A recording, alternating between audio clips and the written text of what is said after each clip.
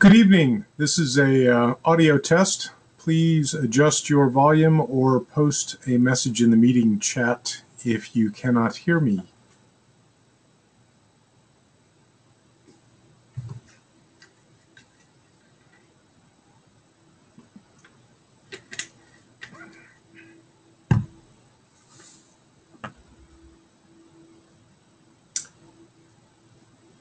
Testing one, two, three, four. Thank you for the feedback. Apparently, the um, most people are getting the sound. If you can't hear me, then let us know, please. And uh, that's a very good point. If you can't hear me, how would you, unless you're a lip reader, how would you know what I'm saying?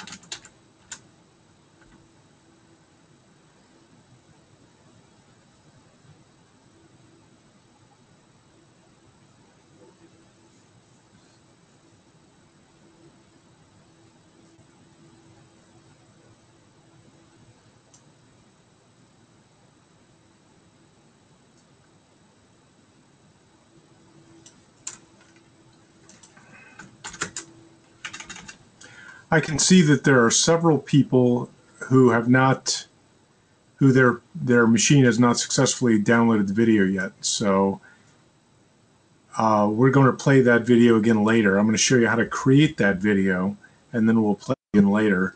So I'm sure that by that time, everyone's PC will have it cached so that it should play um, in almost real time.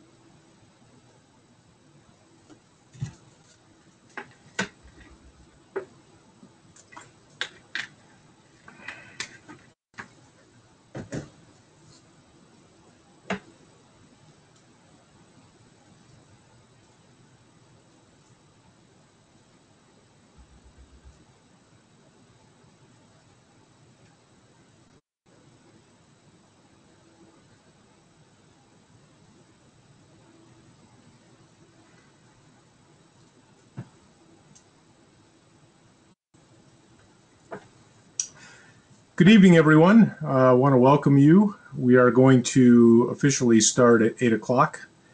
So this time was just for you to tune up your machine and make sure you're seeing the pictures and the videos and that sort of thing so that we can have the best experience once we uh, get to our content.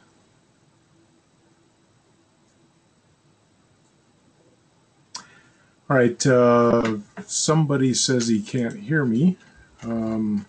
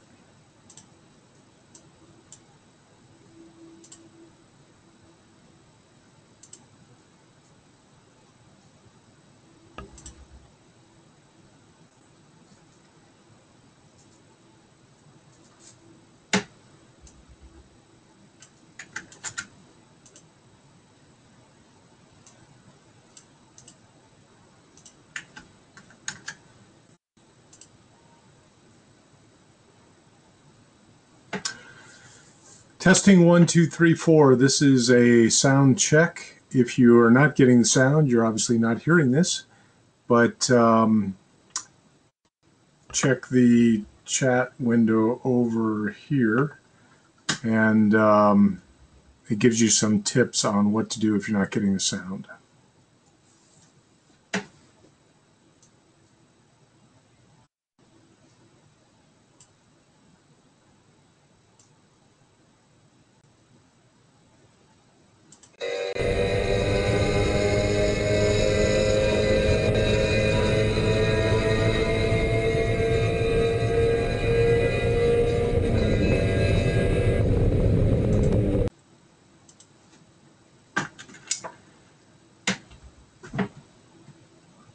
Not sure why you might not be able to hear me, but you're able to hear the, the video.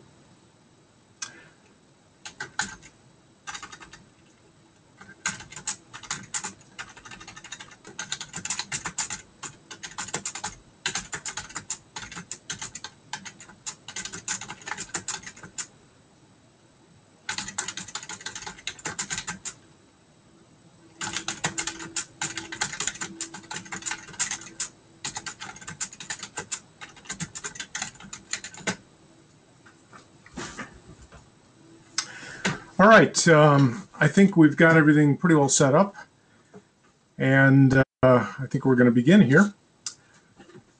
Hello, my name is Glenn Stevens, and uh, I'll be your host this evening. I have uh, Andre Searles helping me out um, and uh, prompting me.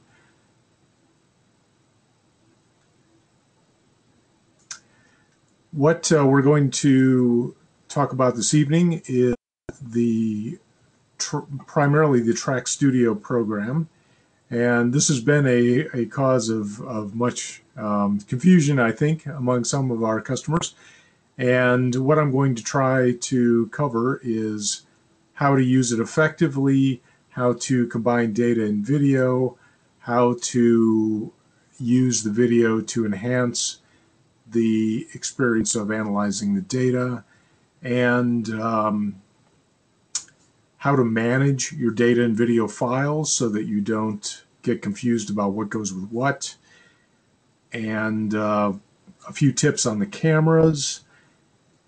And then um, toward the end, we will I'll show you how to create this video that you are seeing here so that uh, you can use our share and compare site or YouTube or, or some other video sharing site if you want to post your own videos with the cool looking gauges and the track map.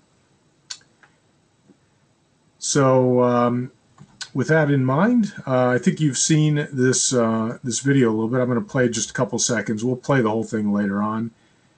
But um, I'm going to play it and then I'm going to describe what's on the screen so you'll see what you're what you're looking at there. I'm actually not sure if you can hear the sound together.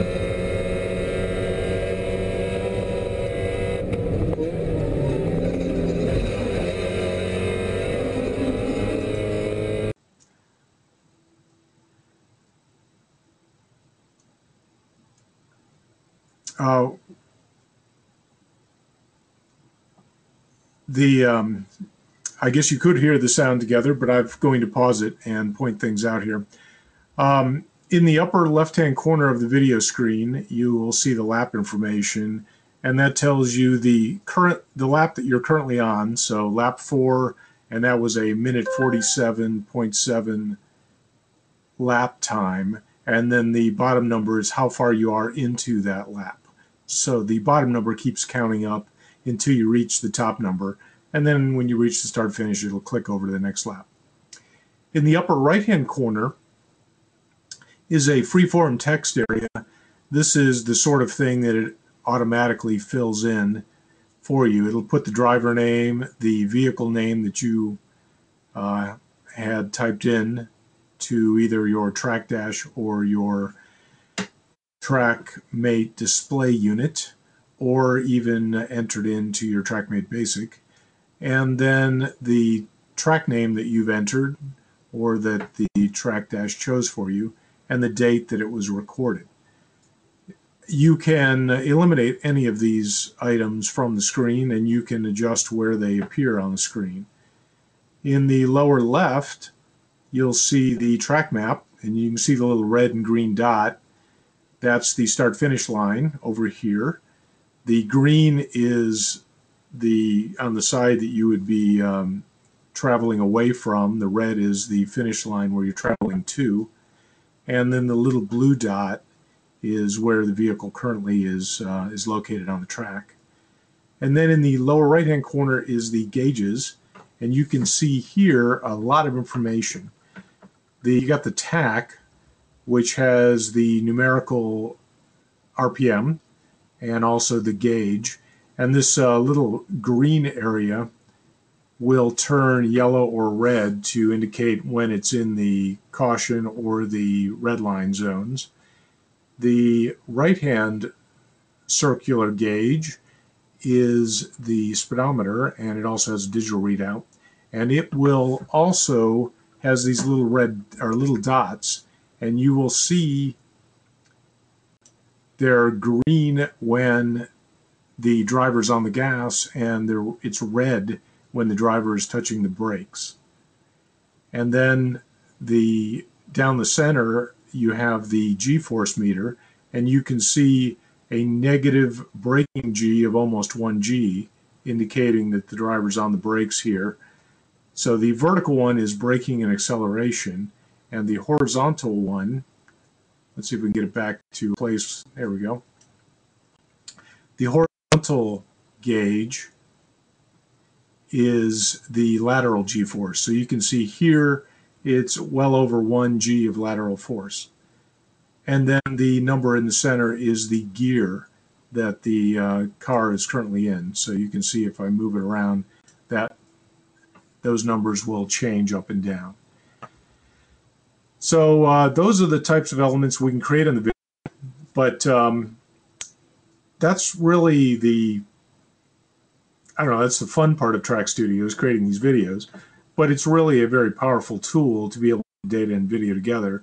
And that's what I'm going to talk about first, is how to open a data, how to open a video, how to put them together, how to synchronize them or tweak up the synchronization if you need to, and then um, how to use them in the analysis.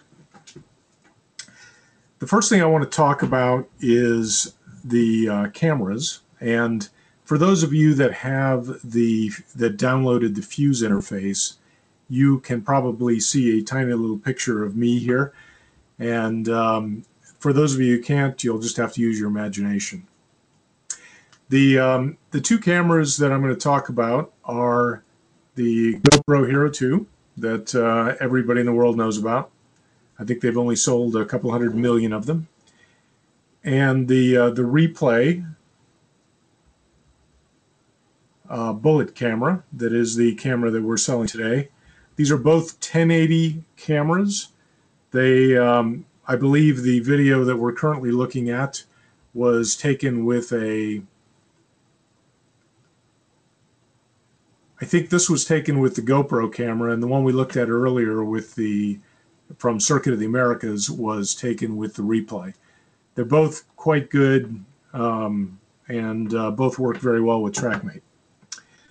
They do record on different media. The GoPro camera, as you all know, records on a full-size SD card. The replay camera records on one of these tiny little micro SD cards. One of the hard parts about the replay camera is making sure that you don't lose this tiny little chip. So what I try to do is it comes with these little um, carriers to turn it into an SD card. When the little microchip is out of my camera, I try to keep it in the carrier. That just makes it a little bigger and a little less likely that you will lose it.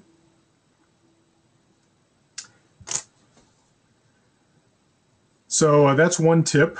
Um, the other thing that I would do is um, you can play the video right off of the card in TraqView, but if um, I try to put it back in the car as soon as possible, so I usually copy the videos off after I come in off the track. Just put the card in, copy it over to my PC, and then once that session is copied, immediately take the card and put it back in the car.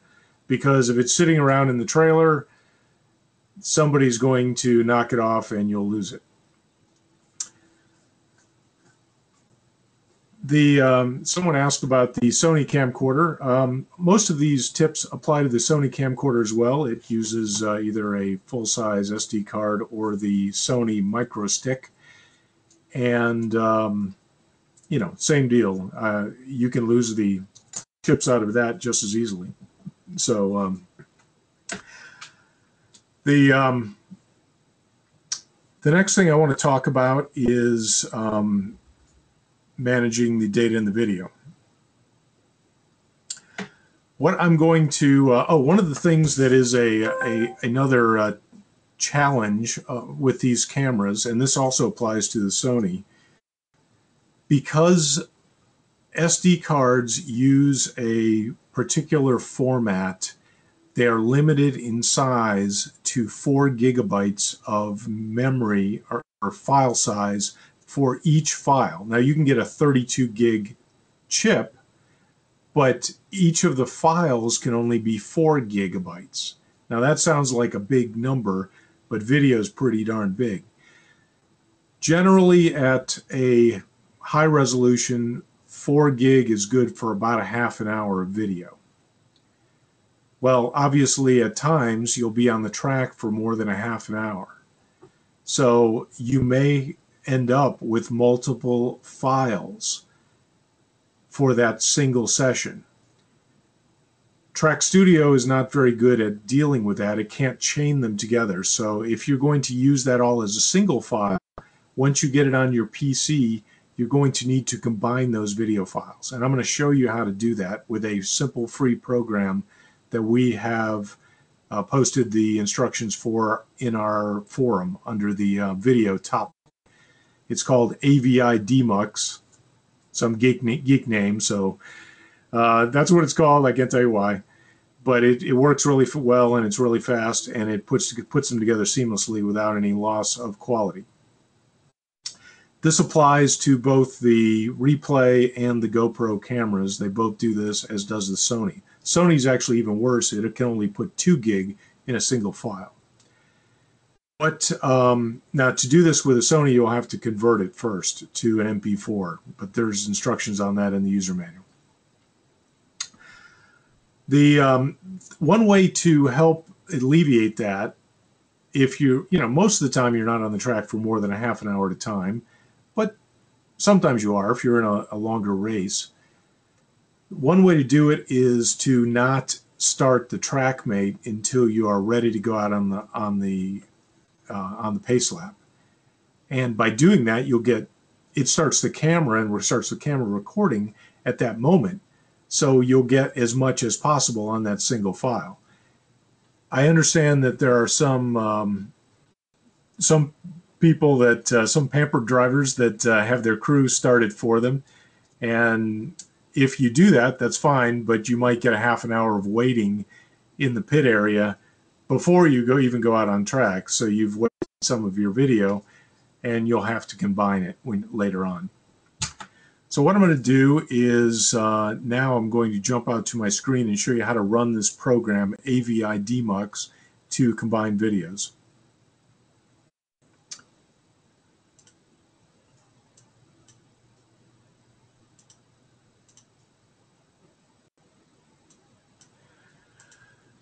All right, so here we go. The program, uh, I had it on my desktop at one time.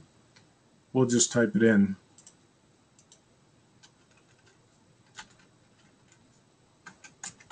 I'm going to try to go so your screens will, will catch up. Some people's computers are faster and some people's internets are faster. So if you see me pausing and waiting quite a bit, um, it's to let the slower uh, computers catch up, so please bear with me a little bit. So the program is called Avidemux. Uh, once again, on our forum under the video topic, there's instructions for where you can download this program. There's both a 16 and a 32-bit version for the various versions of Windows. Unfortunately, there's not a Mac version. And um, it's a free program. It's, it's freeware. So I'm going to run the program. And it's got a very simple little interface. And what you do is after you've copied your videos over to your PC and they're sitting in a folder like this one here, I've uh, I've got um, now, when you bring it over raw from the camera, it's going to have a name like GoPro 0001. And if it's a continuation, it might say GoPro 10001 to give you some indication that's part of the same uh, session, but a, a second continuation. If you uh, look at them pretty hard, you can you can eventually figure out which ones are which. I try to rename them immediately to uh, give me a more usable name, like Saturday Pro IT Race Front 1 and 2. Makes it a little simpler. So all you have to do to combine these two video files is, and you can see the first one here is um, is four gigabytes, 3.8 ki uh, million kilobytes, and uh, the second one is one and a half for a total of 5.4, which is what the joined one will be. So all you have to do is take that, that file and drag it and drop it. I'm going to go slowly here. And just drop it into this Avidemux program and magically it will appear and it will be right at the beginning of that. Then you go over here to the menu on Avidemux and you say append because you want to append the second file to the first file. So you choose append and it will ask you to pick the second file. And I'm going to pick the second file, select that, once again, I'm trying to go slowly here. I tend to run through things too quickly. And then you say open, and now it has put those two files together. And you can verify this by taking this little slider bar and sliding it, and it will go through the entire video. And you can go all the way to the end and verify that it is in fact the end of the video. So you can see here, for example, I'm signaling to go into the pits. So that's a good indication that that is in fact the end of the race. So when you're all when you've dragged all those things in there, what you do is you say file. Um, I'm sorry, you need to go over and choose the output format first. I, I was about to skip a step. So you pull down the output format and you want the MP4 muxer. Muxer stands for multiplexer. And what that does is it puts the data and the video, I'm sorry, the video and the audio together. It multiplexes it together. That's why it's called a muxer. And uh, then you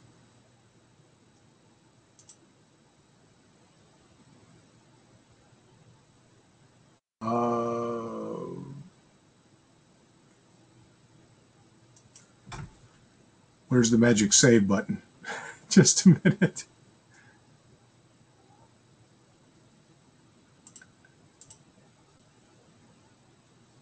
I should have read my instructions. I oh, that's to save the project. There it is. The the icon is the save video. Um, you'll click on save video, and it will uh, ask you what you want to call it. And in this case, I'm going to say uh, combined file and choose save and it will run off and and complete it. And as you can see it's going pretty fast. It's already 5 and soon to be 10% complete. So it doesn't recode the entire format or recode the entire file. It just appends them and you can even choose higher priority I'm going to stop this because uh, just like the cooking shows, I've got the uh, completed cookies here on my desk. So you've seen how to go in the oven, and uh, I think you on your own. So that is Avidemux, and um, I would strongly urge you to download that and have it on your PC at the track so that you can combine your files when you would like to do so.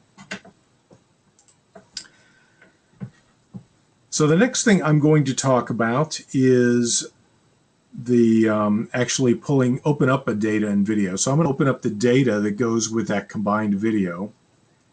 and I'm going to open up the video and show you how that works together. So we're going to start by doing running TraqView, or you have to have TraqStudio to do this, obviously. Um, also, one thing I did not mention, for those of you that have not downloaded the newest TraqStudio, um, that would be if you go Help and About TraqView, it will tell you what the version is. And uh, the latest version is 3.40, and uh, you definitely want to get it because, first of all, it's Windows 8 compatible, but it also has some bug fixes in it and more features that you will want. So, by all means, download that. And all of the things that I'm talking about, of course, apply to the new version, not necessarily the older version.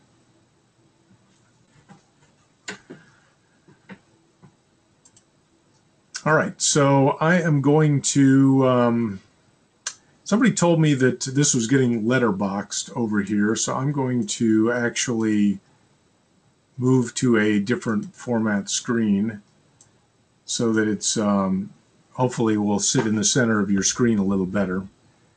Um, and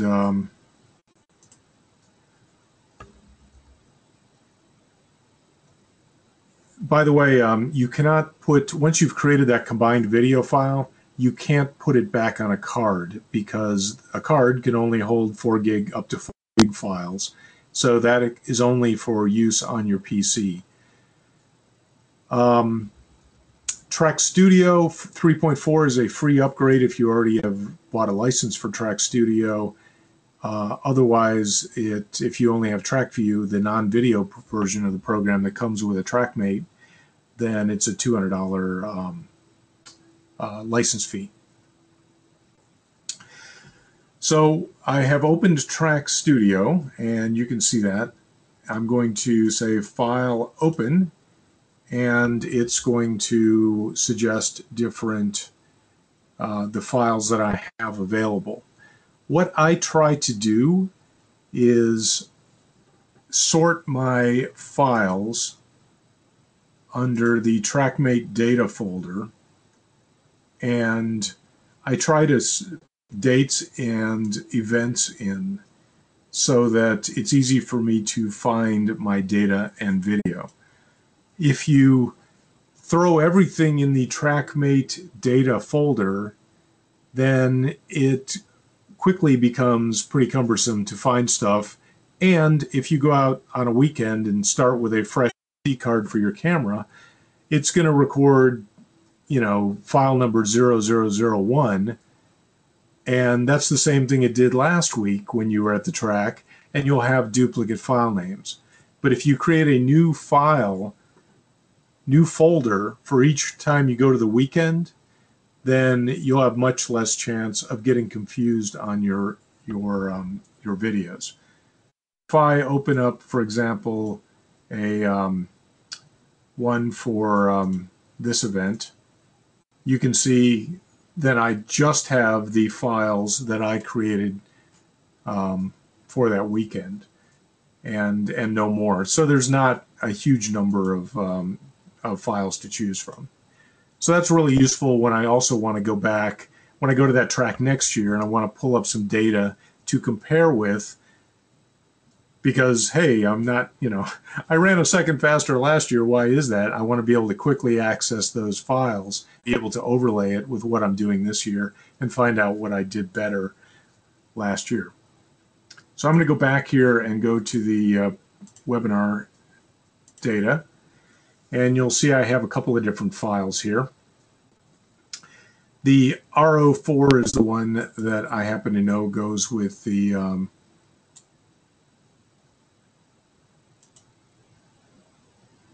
I'm sorry, I think the RO3, as you can see, it gives you the duration, 49 minutes. So this is the one that's longer. So that is the right one that I want to, uh, to use with the combined video.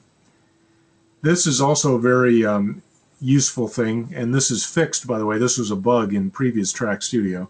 In the new TraqStudio, when you use it with a TraqDash, it has the dates and the durations correct, which is very helpful because you can say, all right, this is my two o'clock session or my four o'clock session, and the duration also gives you an idea of which is the right data file you might want to open. So I'm going to click that and open it up. And the new TraqStudio automatically pops up the setup window and shows you all of your lap times and let you choose which graphs you might want to view at that point. So you can see there's uh, a lot of laps. But just for the sake of video, I'm going to make it simple and I'm going to, um, well, I'm going to go ahead and choose all of the laps. Now, as you can see in the track map up here, it always positions the vehicle dot at the start finish of the so one way to determine if you're opening the correct video is whether the video is at the exact same place. So when you open the video, it should pop up and it should be at the start finish for that track. If it's not, you either have a synchronization problem or it's not the right video for that data.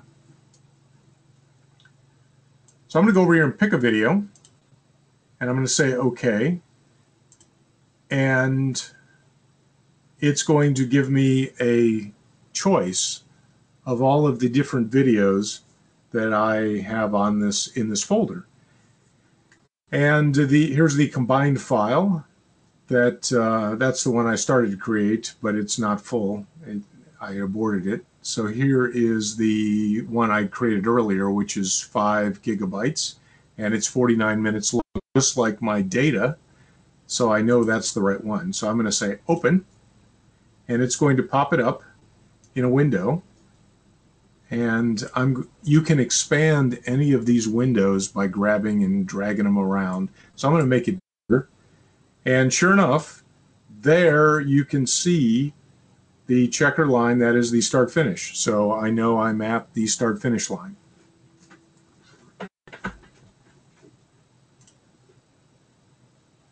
Now I'm going to make this a little bit smaller so you can see what else I'm doing on the screen here.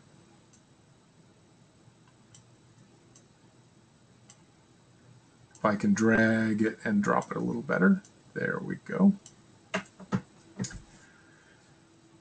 And uh, this looks pretty synchronized, but uh, if it were not, it depends on which firmware version you have in your GoPro camera, for example. Um, the replays are, are spot on, but sometimes, uh, depending on which firmware, the GoPros can be off by a second or two, one way or the other. And also, if you don't have our synchronization technology, the one of the track data or TraqSync devices, you can still use this. You just have to start your camera manually and sync it manually. So I'm going to show you how that's done. So this one obviously is already synced, but I'll, I'll show you anyway. I keep uh, clicking and making it pop into different places. Let me uh, see if I can get it where I want it to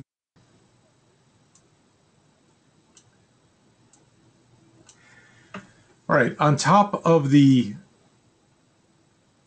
the window frame, that's, that's what I this area up here is the window frame. There's some buttons. These buttons apply to the thing within the window. So up here on the track map, you can adjust your segments that apply to the track map. Down here on the video, you can choose these items like show dash will pop up a dash overlay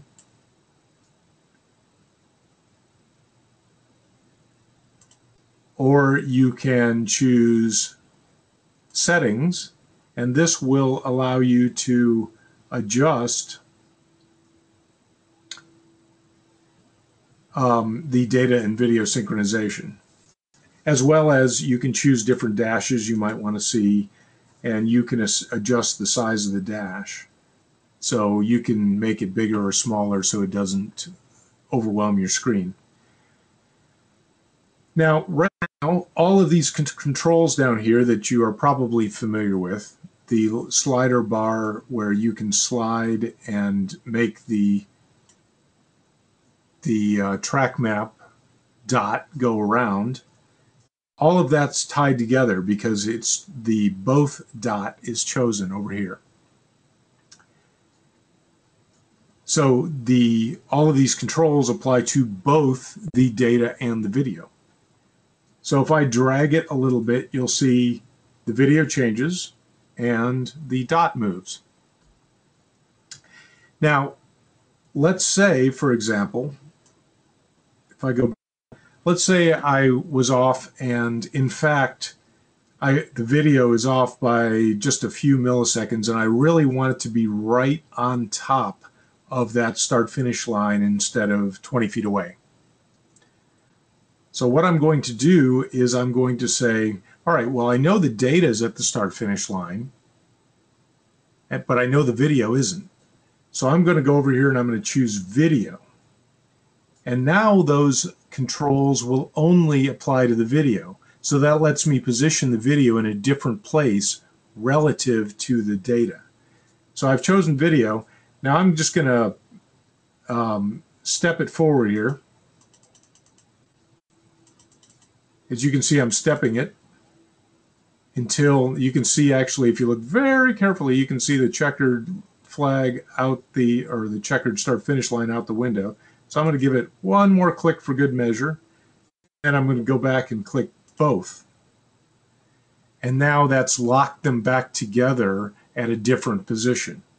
And you can see this number here is called offset, and that tells you the offset between the data and video is. So we just adjusted it by three tenths of a second.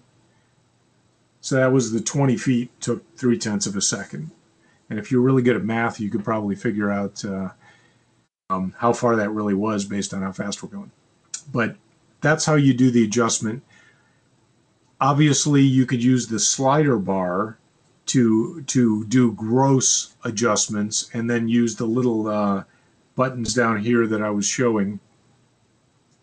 The little uh, step forward and step back and the 10 second forward and 10 second back um, items to um, to get really fine adjustment. And the other thing you could do if we choose video, you could just hit play. And I know that's going to be a little bit jerky on your end because we didn't pre-download that to your machine. But what that will do will um, will let you put the video in another place and, and do it visually. I have a question on what would cause video synchronization errors, and um, really the only thing would be the the different firmwares firmware uh, on a GoPro camera. It's slightly different between a Hero 1 and a Hero 2. There's some variation between SD cards some faster than others, and so the file gets created and started a little faster on some uh, SD cards than others.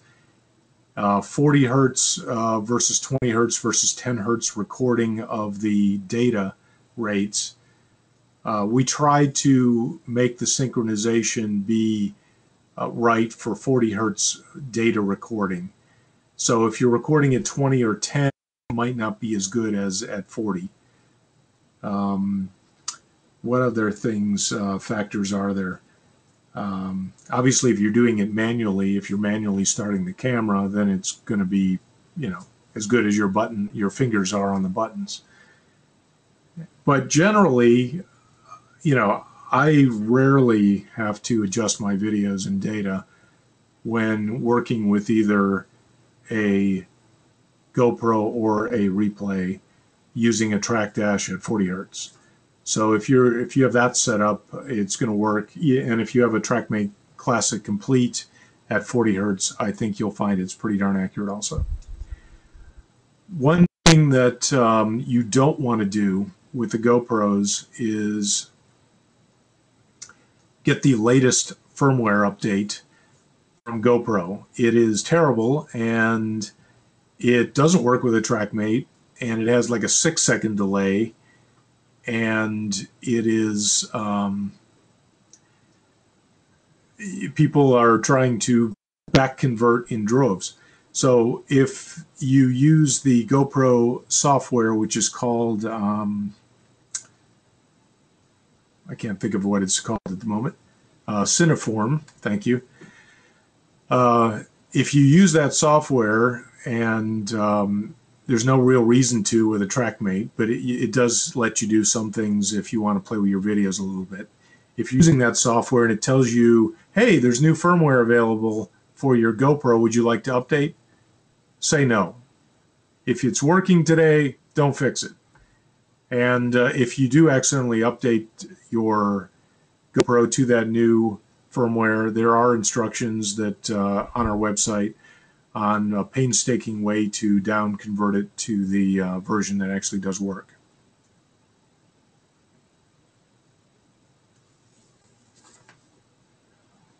Um, okay, so I've talked about that. Let me show you the, um, if you uh, pop up a dash here,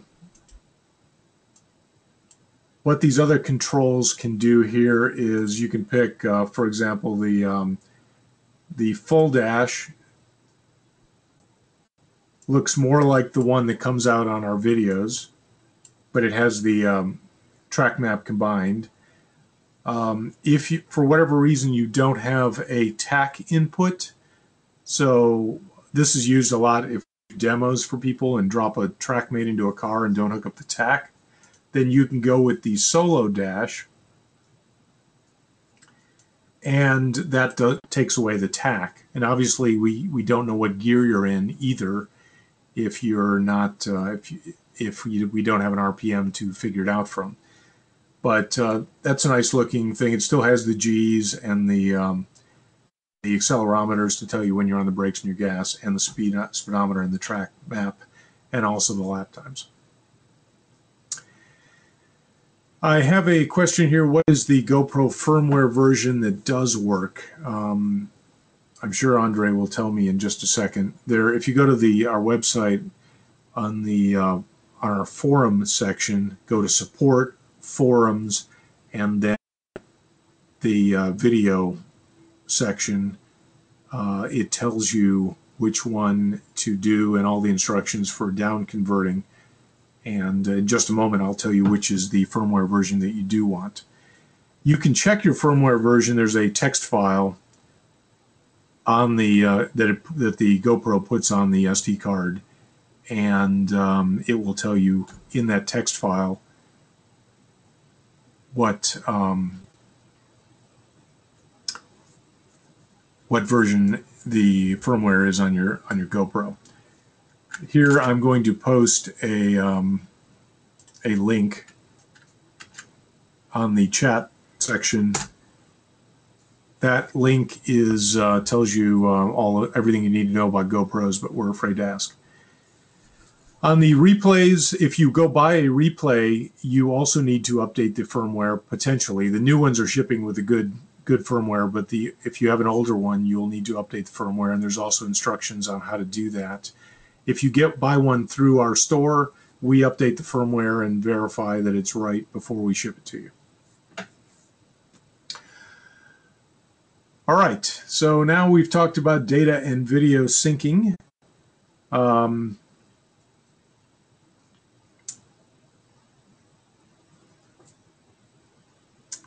I'm looking at my notes here on my agenda, trying to make sure I didn't skip any steps here. Um, one thing that I mentioned is the um, to get all of a lot of these cool features, such as the um, the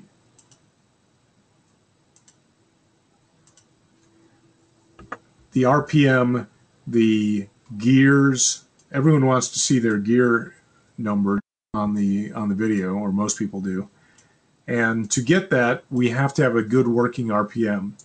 And you also have to enter the gear information for your car into your display unit or your TraqDash or even in your basic.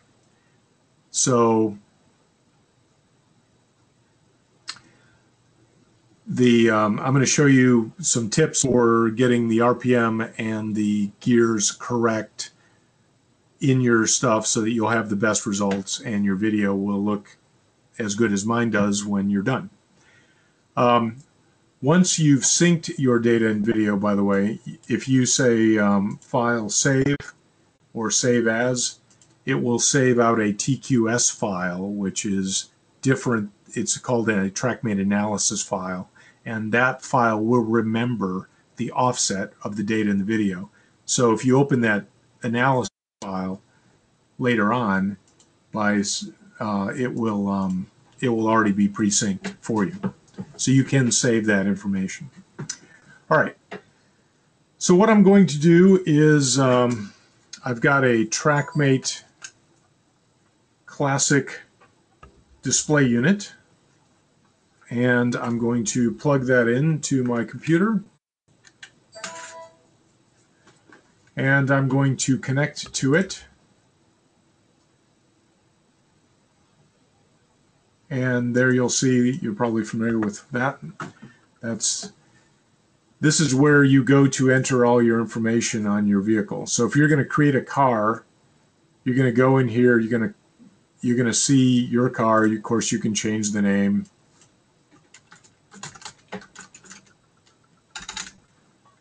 You can put in the number of cylinders.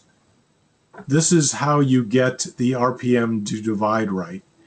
If you're on the negative side of a coil, um, you'll probably put in the number of cylinders. If you're hooking up, as most people are these days on modern cars, to the ECU, then you'll want to put in um, probably either one or two, depending on how many uh, how many fires of the cylinders there are. So you may want to put that as one. Um, and then um, the rev warning and the rev limit, these are the numbers that these are set the uh, places where on the screen the yellow and the red is going to come on as sort of like a shift light. Then once you've done all that, you can enter your tire size and um, your gears. So the best way to look this up is either on a web forum, uh, or your dealer would have this. If are, they would have this information. Uh, Wiki, um, Wikipedia has a information on tons of cars that have the gear ratios and uh, and the differential ratios. So that's a good place to go as well to get some of that information. The um, easiest way to put in your tire is let's say you got a 205 uh, 16 whoops. 205 16 sorry 205 50 16 tire or 15 for that matter. Uh, when you put that in it will automatically calculate the circumference. How we do this by the way is we know how many times the engine is turning around because you've just told me how, how to figure out your RPM. And we know how fast you're going from the GPS.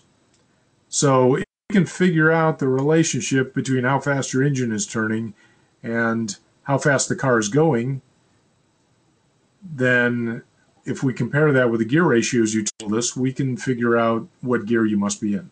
So that's why you have to enter all this information in to get uh, to get it to tell you what gear you're in. So that gave us a circumference of 72.48 inches. And then over here, you'd put in your transmission ratios. And these might be things like 3.4, 2.7. I, I don't have really good numbers on the top of my head, but um, you know, fourth gear might be one to one, and fifth gear might be an overdrive. It might be 0.8 and 3 might be, we'll say, uh, 2.0, something like that. And when you say, okay, if you go back in again, um, Uh, I guess I didn't hit OK. By the way, if this little um, question mark will pop up help, and it explains all the stuff that I'm talking about right here. So if you forget any of this stuff, you can click on that and get um, get instant help. Um, so you saw how I put in the tire size and the and the um, the different ratios. Um, oh, I know why I cleared it out because I didn't put in a diff ratio. And with a diff ratio in of zero, it assumes that you don't want to do this. So I left out a step. Uh, diff ratio might be um, like 311 is a typical one. And then um, go back and we'll put these in and it will calculate your wheel ratios as we're going. Sorry about that. Two, and then eight. So then if I said OK, it will remember. So that's how you do that with a Traqmate Classic. With a Track Dash, it's actually a lot easier. And I'll show you how to do that. Um,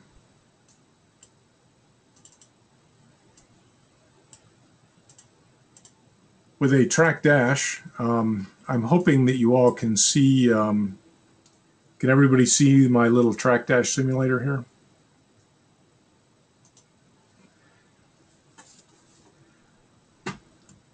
I'm going to go up to the top and on a TraqDash, you would go to race setup, vehicle, and it comes pre-programmed for an awful lot of cars, but you can use these to create your own, or you can just create your own from scratch.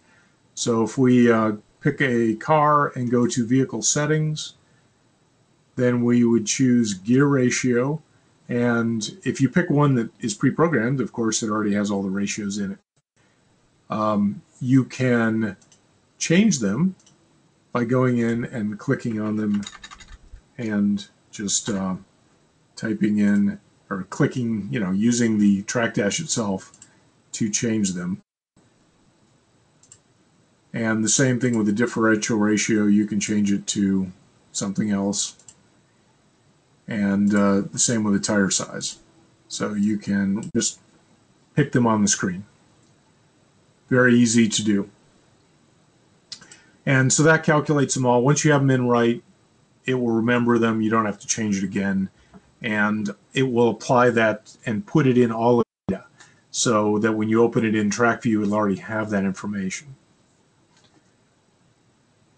And once again, on the track dash, there's a help screen that, that tells you all the stuff that you might want to know. And there's also a little information button that you can use to um, to get help at any time.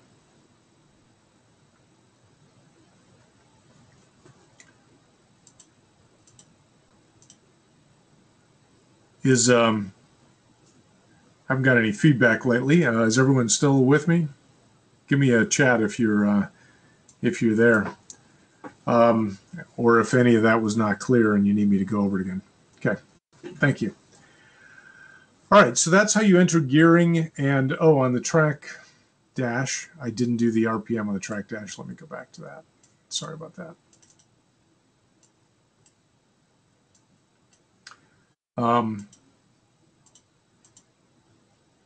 once again, in, in vehicle settings, to set the tach numbers on the TraqDash, you would go in and choose, I'll slow down a little bit, you would choose the tach setting, and here you can set your max RPM for, that's the place where your engine basically is going to hit the rev limiter or blow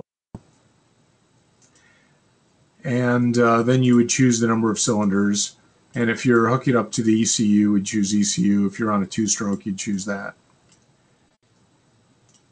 And uh, then you can use these sliders to adjust where you want the red lines to go. And if you want to fine-tune it, you can touch it and fine-tune by in 50 RPM increments.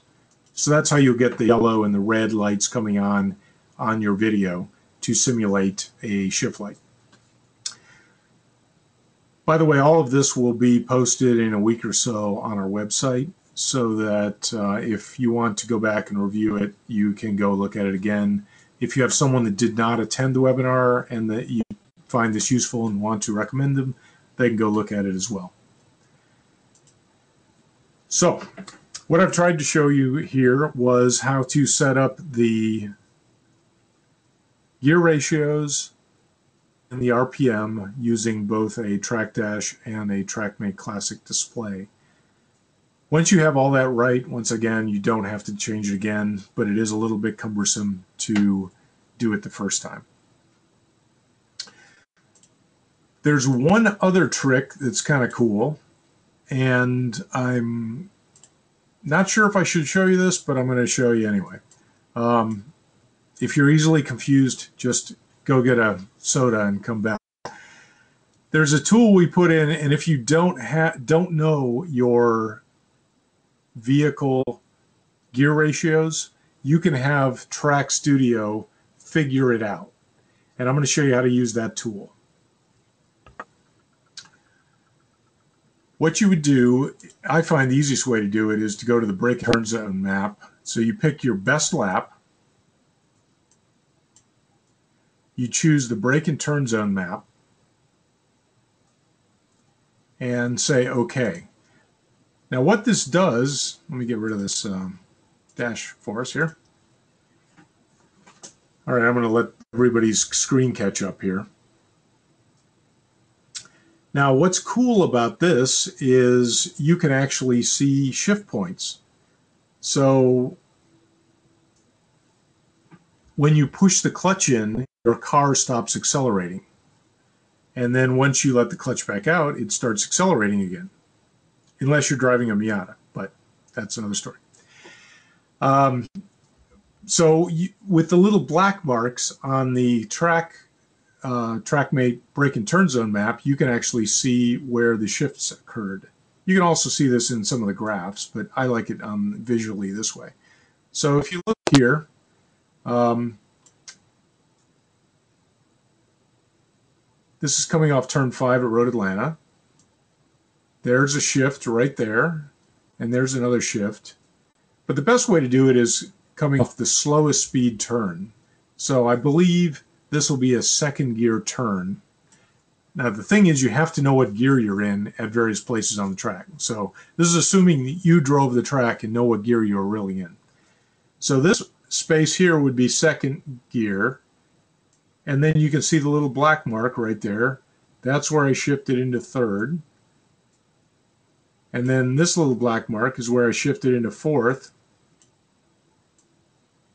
And then somewhere way down here, I probably shifted into fifth. Of course, it's not accelerating fast enough that to really be able to tell. So what you're going to do is you're going to position the vehicle in the various zones on the track where you're in that gear, and then you're going to go tell us what gear that is. And how you do that is you go up here to Tools, you go to tools and you go to session tools. And there's all kinds of cool stuff here. Like you can trim off a session.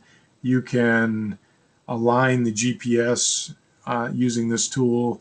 If you put the Traqmate backwards, you can swap the axes around to make it right. But the one we're going to talk about right now, or you can change your time zone in case um, you want the time to appear correct. Um, but the gears is what I'm going to show you now. You can enter the tire size and final drive ratios. That's what I already showed you. Or you can just tell it which gear you're in. So you can see right here in this spot, it thinks I'm in second gear because I actually am. But if you didn't have that information already in it, like I do, that would be blank like some of these others are. And you can un. Um, what you could do is say, I'm not really in second gear there, I'm in third gear. So if I clicked on all of these, it's going to unclick all these numbers for me. So I'm going to do it from scratch.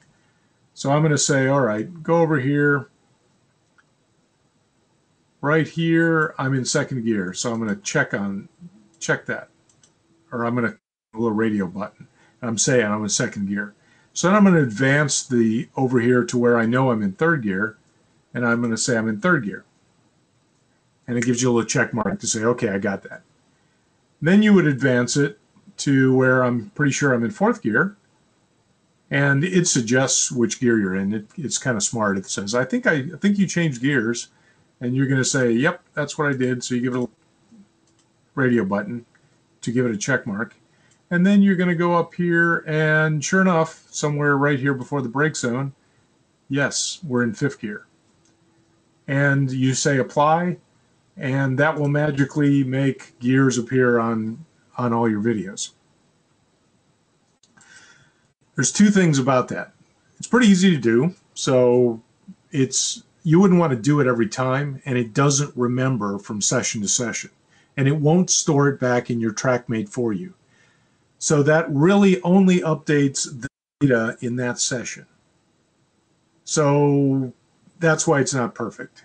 It um, the best way to do it is to enter the gear ratios for your vehicle. But if you happen to collect some data that has the wrong gear ratios in it or doesn't have any, it's a way to tell it what gear you're in and actually have that information show up on your video and analysis. And once again, if you save this as a Traqmate analysis file, a .tqs file, that information will be saved with that file. It just won't apply to any other sessions. Okay. So now that you're all back from getting your sodas, so I didn't didn't uh, confuse you, let's talk about how we might want to um, analyze some data and video. What I'm going to do here is I happen to have a, a really good piece of data in another file. So I'm going to open that one up and use that as an example. And I just missed telling you something that I wanted to tell you. So I'm going to go back and do that, open that up again. Um, so I'm going to choose my video again. And remember we chose the join file. Now, with the new TraqStudio, let's say you you want, let's say you do save this as a TQS file.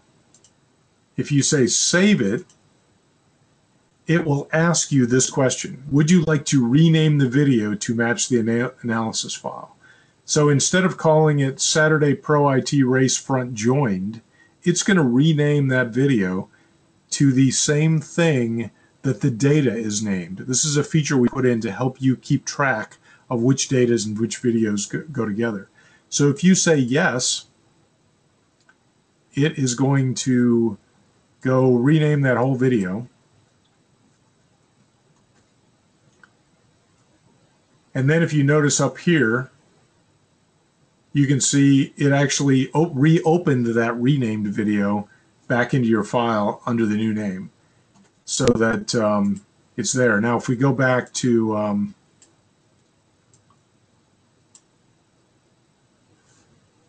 here, you can see that um,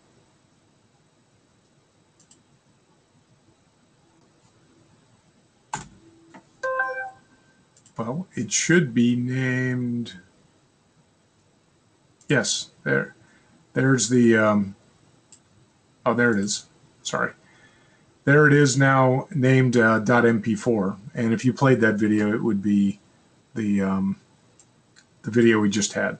So that's kind of a useful feature to help you keep your data in video. The other thing is if we go open that, that data file back again and then choose a video, even though we're not opening analysis, we're just opening a, a data file, it opens the video because it it looks to see when you tell it you want a video if there are any videos match the data name and if so it goes ahead and opens them without you having to pick it. So that's also a nice feature. If you rename the video it will when you go come back next year it will already know what video goes with what data. All right. So now I'm going to close that down and open up my example that I'm going to use for the um, data and video analysis.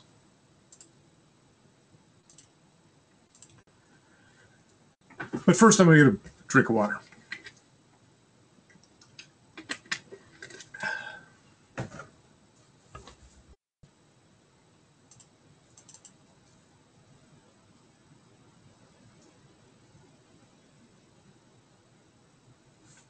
Now here, what I did, if you'll notice, I opened a TQS file, which is the analysis file.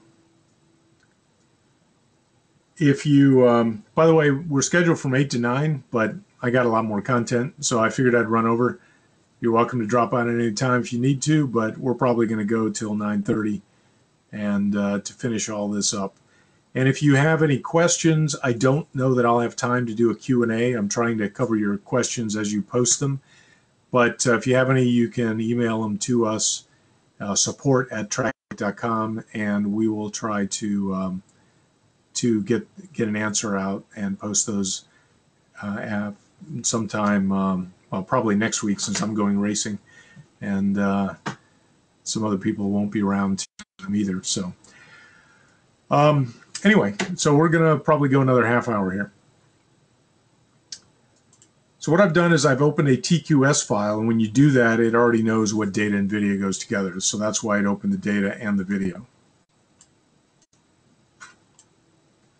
So what I've got here, this is the data and video that I used to create the video at the beginning of the presentation. And then I'll also be showing um, at the end so you can see what we uh, what we accomplished. This uh, dash is a little bit large, so I'm going to make it smaller so that we don't cover up our whole screen here. Okay, so now I've got some useful stuff. This, uh, by the way, is Road Atlanta, and um,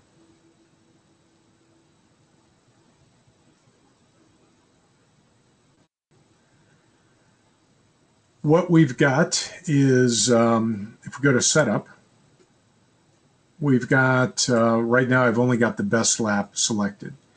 So the way this works, if you pick whatever lap you pick, notice when I say OK here, the view changes because it's now showing me that lap that is selected. And if I drag and drop this to some place on the track, of course, the video goes with the data. If I'm showing a graph, so I'm going to pull up a velocity versus distance graph to go with the video. I'm going to make this small. I'm going to hide the dash. This keeps wanting to pin to this side of the screen here. Okay, and you can once again, you of course you can adjust all your your screens to get it the way you like it.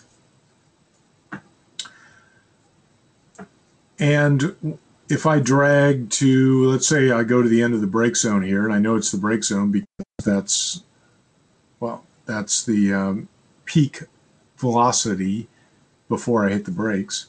You can see the video goes right here, and that's a great way to tell where am I hitting the brakes you take the uh, you go to the spot where the graph starts to fall off and you can single step it until you on our dashboard up here we can single step until there's the red light came on up here on the dashboard which is the that's what we call the little rectangle in the upper corner is the dashboard so you can see the red light there tells me when I'm on the brakes. So you can see that's when I hit the brakes.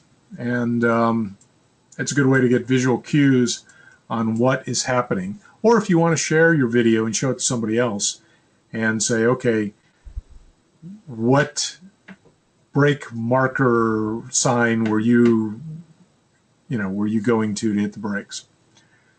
So that's um, that you know, by dragging this around, you can get all kinds of interesting um, video cues. You can also use the video to help tell you why some of the data occurred.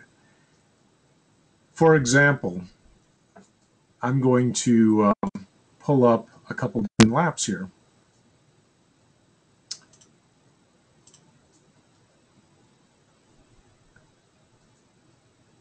Actually, what I'm going to do is undo both of these.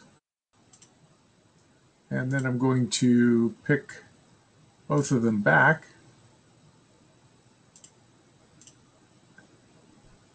I I need to close that graph and try it again. What I'm trying to get it to do is um, sorry, I didn't pick the graph.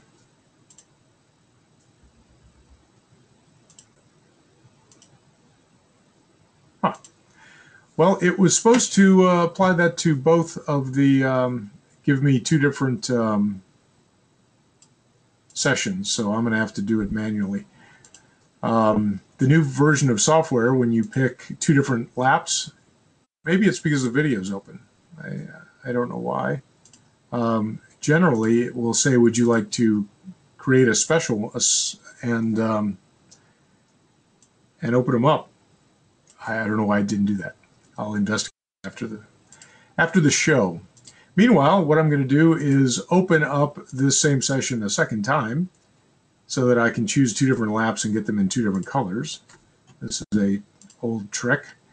So now I have Glen Blue and Glen Red. And I have laps I can choose for each different driver. You can use this to compare, compare two different laps on the same session. You can use it to compare two different sessions or two different, completely different drivers if you want to overlay one driver for another. So that's how you would do that. So if I go to the blue Glen, I'm going to pick lap two. And if I go to the red Glen, I'm going to say none and then pick lap eight. So blue Glen's got red, uh, got lap two, red Glen has lap eight. And I say, put it on a velocity versus distance graph and say, okay. And immediately I know that I see that there's, there's different things going on here. For example, one thing that um, strikes me is that I braked much later on the red lap than I did on the blue lap. And I wonder why that was. Well, there's the way to find that out is let's go look at the video. So I'm going to apply the video. To, you can only have one video applied to one thing at one time. So I'm going to say apply the video to the blue. And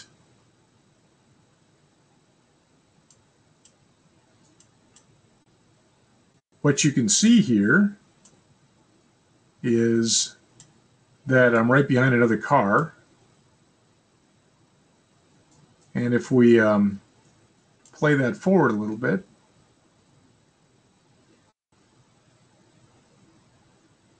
there really was no real excuse because that car pulled out of me. So I probably just got nervous and was behind that car and hit the brakes early. Okay. Then if we go to um, setup and choose the red, and so we apply the video to the red by clicking this box here that says have the video show the red lap, and I say okay. Now what you're going to see is the video here will magically transform to the red lap. And I have to get to the same spot on the track here. And here you see there were no other cars around me. So I wasn't nervous and I went as deep as I could trying to catch and I wasn't concerned that the guy in front of me was going to brake check me. So I went ahead and went in deeper. So that, you know, if you're comparing the data, without the video, you're saying why why is this inconsistent? But with the video, you get some some context as to what was going on. Let me show you another example of that.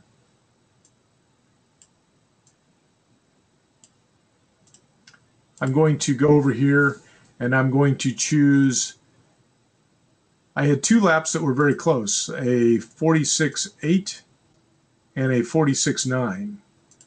Okay, so I'm choosing those two. And I'm going to uh, come up and look at the video, or the data first. Now, one thing that strikes me here is I'm going to rotate my map. And I'm going to try and slow down here because I know I'm clicking through things a little quick.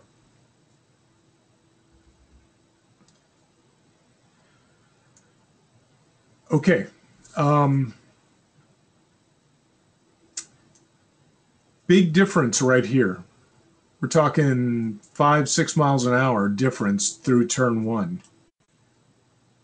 So even though these lap times were pretty close, I came in hot here and pulled off more speed, whereas the blue lap I came in slow and carried more speed through this turn one. And I'm just wondering why that happened. And how can I make it? What I want is to come in hot like the red lap and go out like the blue lap. So at some point, um, you know, I want to find out what I did on the way in and on the way out to try and combine those two and improve my my performance. So I'm going to go look at the video and let's first put it on the blue lap where I carried more speed through the turn. And let's see what's going on. If you uh, work it back and forth, you can step. And as you see here, I'll let it catch up to you.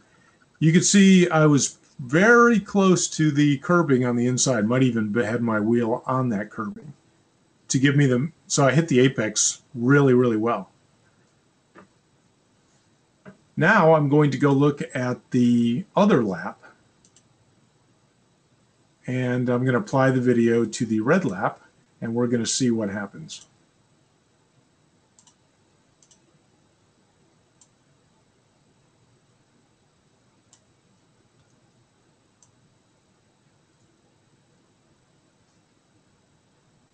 And I think, even though it looks like it there,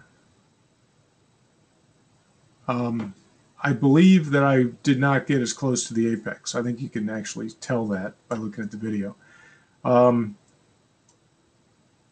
the other factor going on is that there was a white car on the outside of me, as you can see from here. See this white car over to my left, and likely he was still there, so I did not want to track out as far.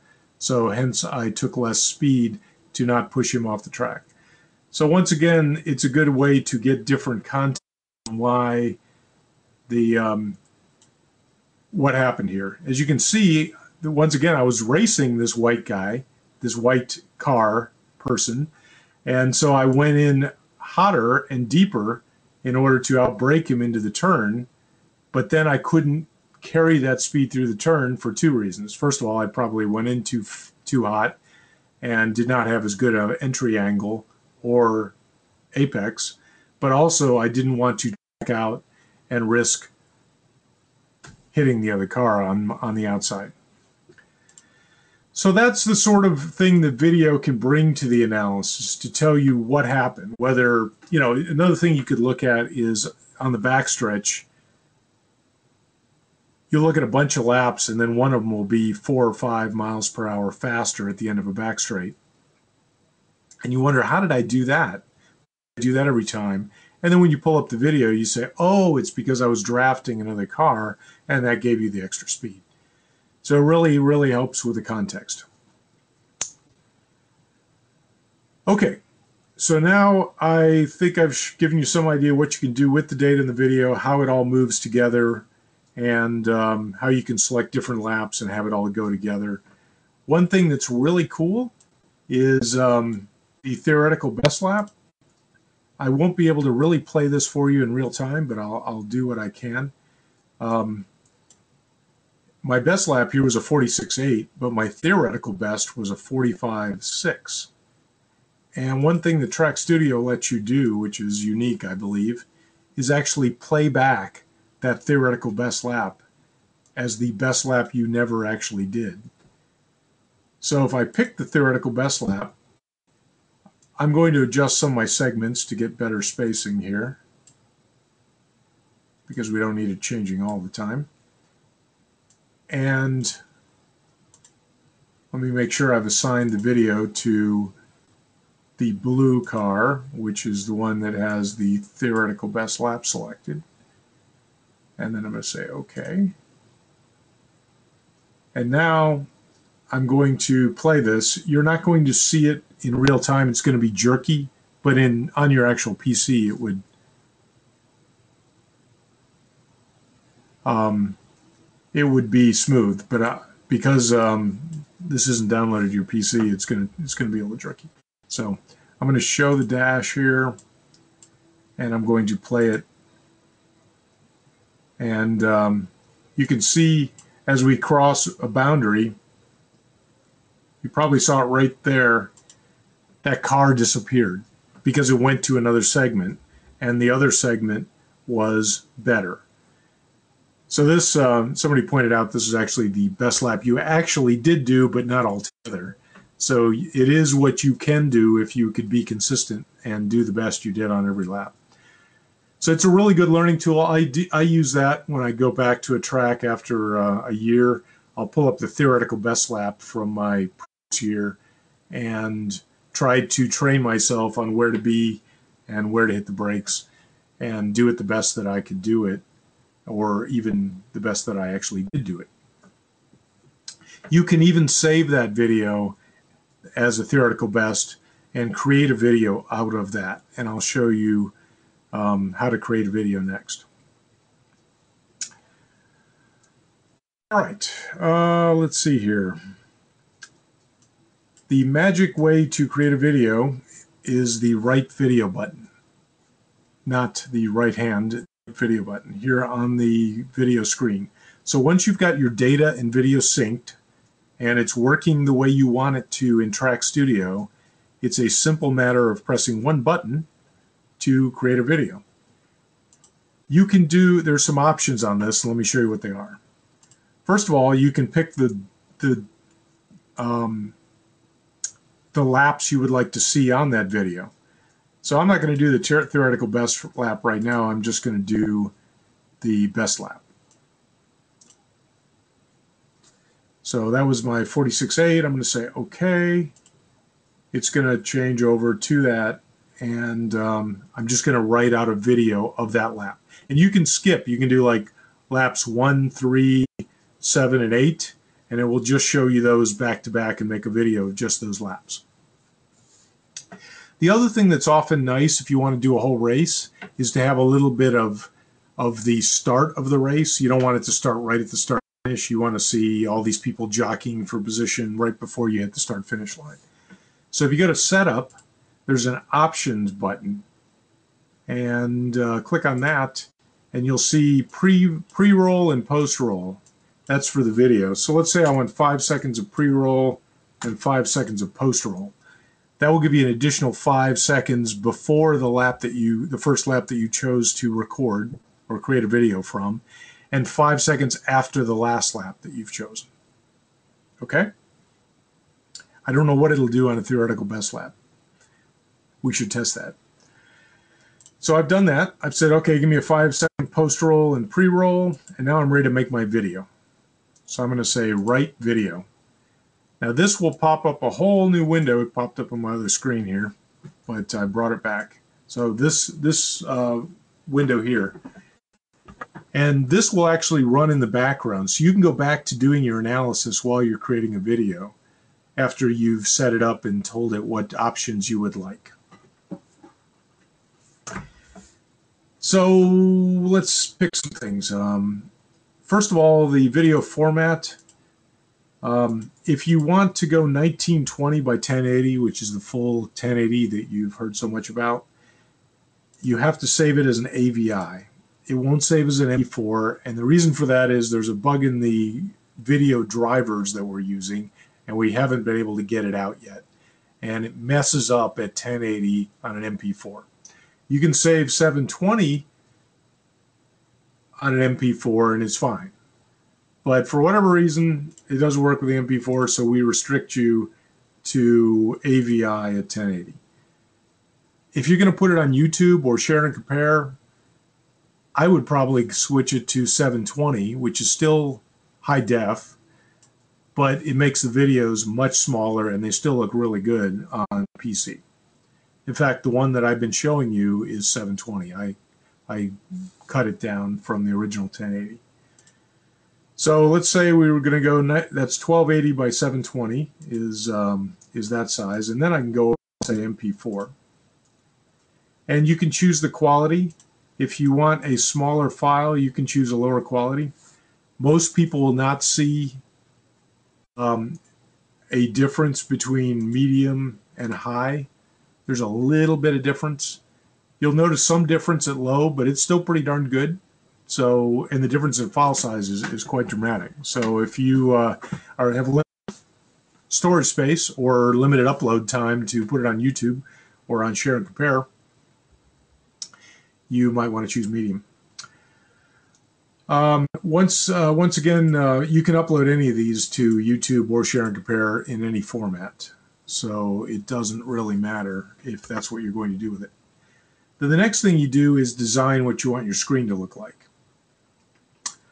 Um, you can choose these little uh, tabs here, select different elements for the different four corners of the video. So if I go over here and choose the track map, I can make it transparent so that you can see through it. Let me go slowly because it has to update on your screen. So that's like half transparent there. You can choose the size so you can make it bigger or smaller. You can even rotate the track map to get a better orientation. There's a question about Vimeo. I do not sure what format it takes, but I think they'll take just about any format also. I have uploaded to them, and I think I've done it with just about everything. So those are your options. I'm going to untransparent the track map and make it big. And uh, I don't like it rotated, so I'm going to put it back the way it was. You could choose a corner for it to appear. So we could put it over there and you can overlay these elements if for some reason you would want to. Um, so I'm going to leave it over here so I can see the driver through it. I just kind of like it there. The next thing I'm going to do is choose the dash. And you can choose different dashes. You can choose speedometer only or the full uh, tach and speedo. One of these days we'll get some more options for you. That's on our wish list to do. And um, you can make it high contrast if you want the numbers to show up more uh, readily on the video. And uh, you can also make that transparent, which is kind of cool. So it's like a ghost speedometer. If there's something behind it that you might really want to see, you can make that transparent. And you can choose its position. I can put it in the upper right hand corner a lot of people have a lot of dead space at the top of their video frame. And that's a good place to put gauges. So I'm going to put it down here again. Uh, info. Now this is automatically chosen for you with the driver name, the vehicle name, and the track and date. But you can edit it and then you can change it to anything you want.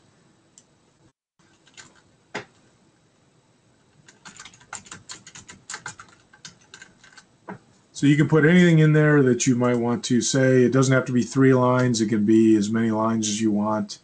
You can even get creative and um, um, if I put it over here and edit it and then put a dot in front of it and a bunch of spaces, when I say OK, it appears over here.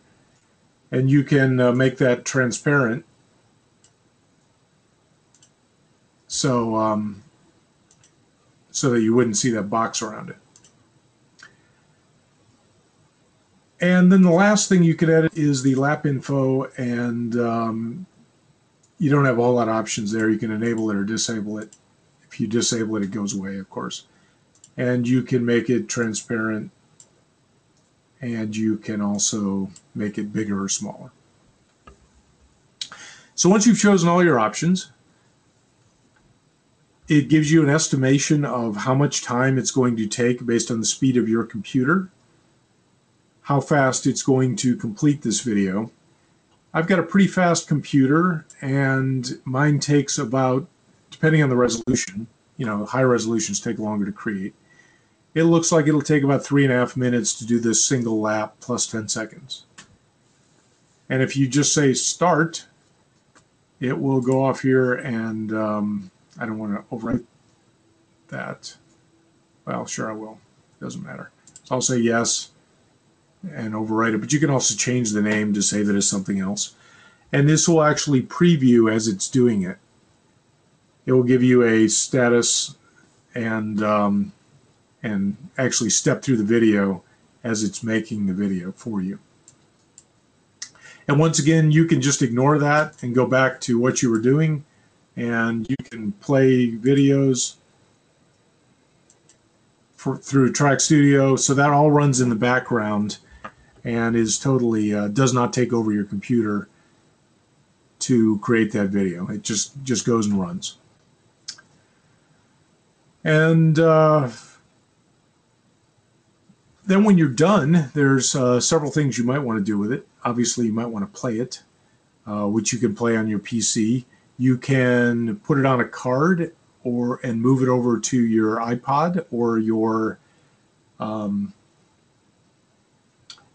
your phone. And uh, assuming you've saved it in the right resolution, you can carry it around and show people your laps on your on your iPod or your um, um, phone. Question. I should have gone over that. Um, I'm going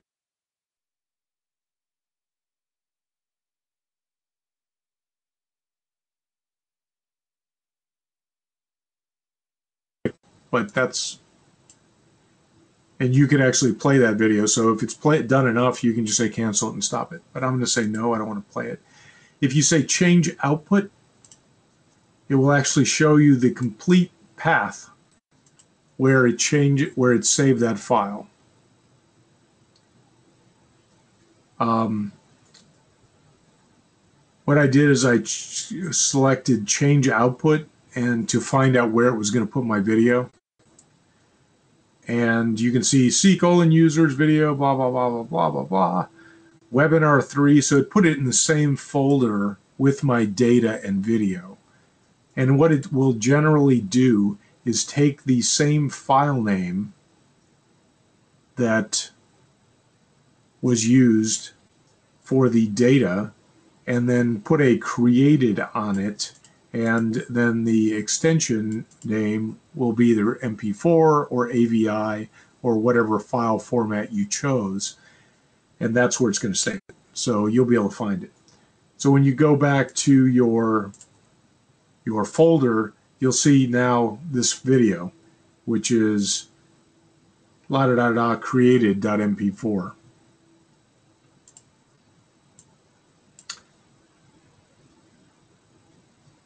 Um, I got a question. Somebody's asking me about an audio bug. I don't know about any audio bugs. The audio sounds fine uh, when you create the these things. Um,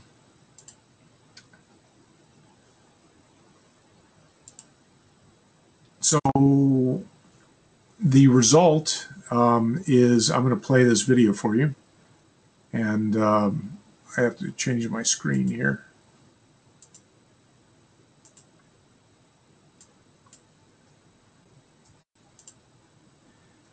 This is the resultant video. I'm going to go back to the beginning and play it. I'm going to play a little while because I'm also going to come back and show you how to upload it to share and compare very quickly, and then we'll be done. So this is what you get out of it.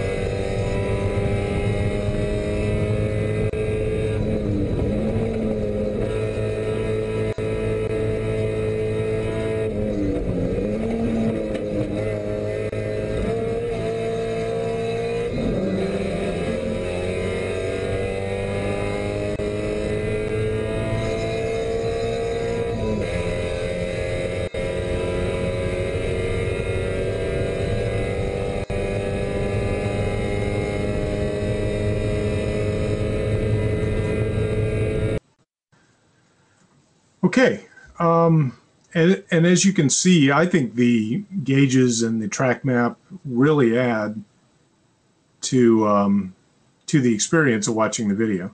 I mean, it's really useful information if you're going to go try and learn how to drive the track because you can see what the gears are and all that.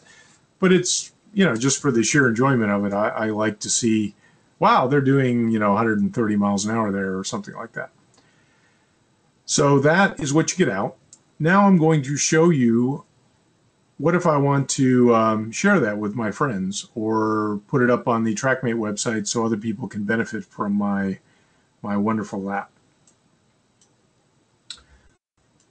I'm going to go over here and I'm going to open a browser.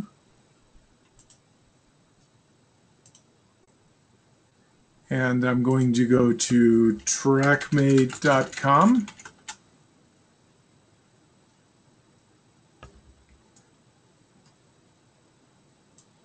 All right. I hope that uh, you're all seeing this and I'm going to go to um, share and compare. This is a feature on our website that you can use as much as you like.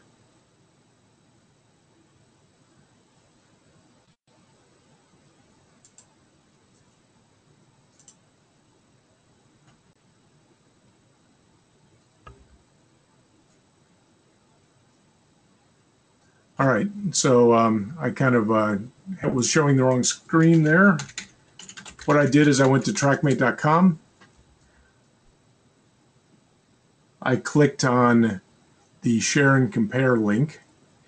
And this is not just for uploading. There's all kinds of cool videos on there that you can watch from lots of different tracks that people have put up there and so if you want to look at a track before you go there, you can download the data that goes with it. It's a really, really good resource for you to, um, you know, to, to be able to get data, overlay it, and also learn from other people's driving. So I'm going to say, um, I'm going to say sign out just so I can show you, show you how to sign in you will need an account. So sign in. We made it really easy. You can log in with either your Google or your Facebook account. So, or you can create a separate um, account that's just for this if you prefer to do that. So if I log in with my um, Google account,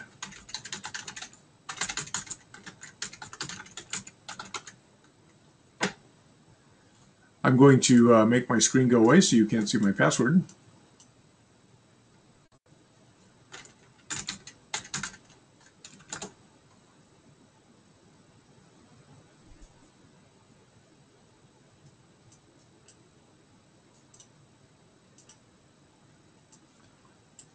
And I'm back again. You should be seeing my screen again. So I've now logged in and it says welcome Traqmate Glenn. And I got all these different options here. So I'm going to say share. And there's um, different help for you. I'm going to find a track. So I know this is at Road Atlanta. So I'm going to say Road Atlanta, type that in. And sure enough, there it is. You can also use the map and zoom in on it and pick a track.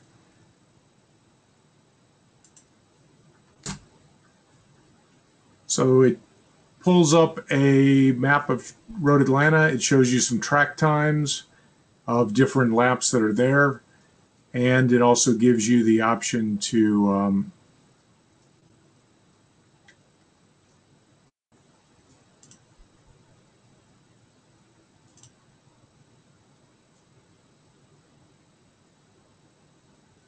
What am I doing wrong here?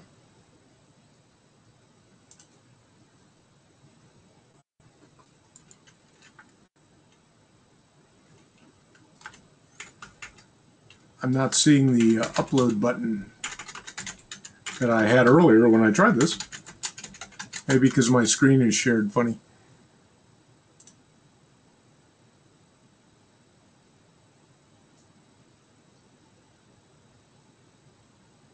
Ah, upload video and data. There it is. Got it. My bad. And so you can give a title to your video, and uh, then you just choose the file that um, that we just created. Documents, Traqmate data, webinar three, video created, and um, I'm sorry, I chose that for the data file. For the data file, you choose the TQM file. And for the video, you choose the video file. And then you just uh, say, OK, say upload now, and it will upload those two files for you. And, um, and that's how it's done and it will post it up on YouTube for you under the Traqmate. So if you don't have a YouTube account, it'll put it up there under the Traqmate um, channel. So other people can see it there or they can go to share and compare and view it.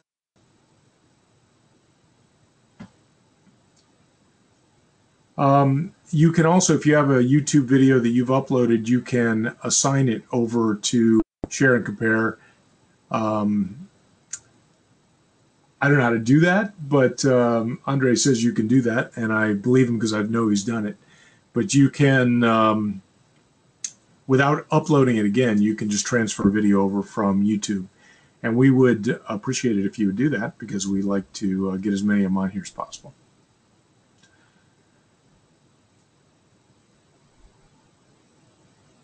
Oh, share an existing YouTube video right there.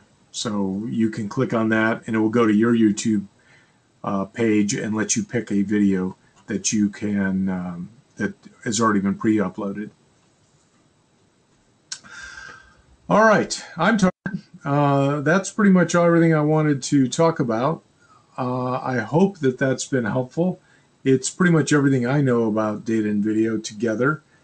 And um, we'll have another webinar in a month or so and we'll cover a totally different topic. So if you have suggestions on what you would like to see in the next webinar, uh, email them to us at um, at I think it's webinar at traqmate.com, and we'll take those suggestions and pick the most popular one.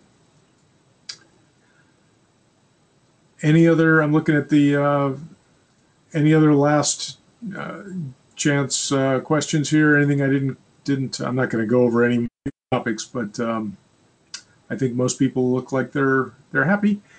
So thank you for joining us and uh, enjoy your Traqmates. Uh, go out to the track and have some fun. I know I'm going to, and uh, we'll catch you next time.